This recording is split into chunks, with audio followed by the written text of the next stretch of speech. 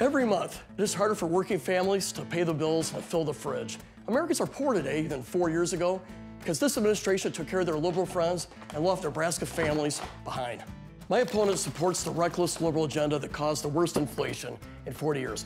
I voted against all of that junk. I will put more money in your pocket by eliminating taxes on Social Security, tips, and overtime. And I work every day to restore the American dream.